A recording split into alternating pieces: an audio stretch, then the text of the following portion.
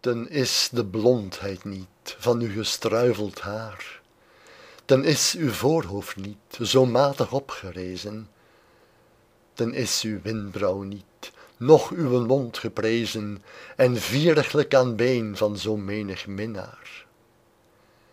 Ten zijn uw lipkens niet die elkeneen voorwaar wonden als ten geliefd en wederom genezen ten zijn uw deugden niet noch uw bevallig wezen noch het tooverig gelaat dat in u schijnt eenpaar.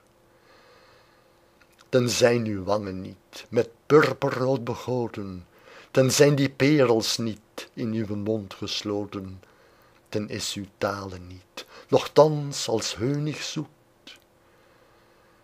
maar t gene dat mijn jeugd als een blad komt verdrogen en mijn jonkjarig hert van binnen branden doet en is anderszins niet dan t raaisel uwer oogen